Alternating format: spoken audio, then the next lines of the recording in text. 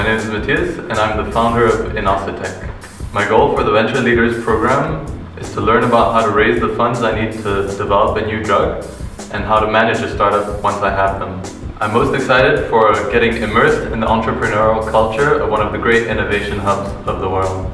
The first time I thought of myself as an entrepreneur was when I filed a patent for a potential new drug. I'm inspired by great jazz musicians such as Miles Davis and John Coltrane because they weren't afraid to redefine the norm and to challenge it. My name is Matthias and I'm a venture leader.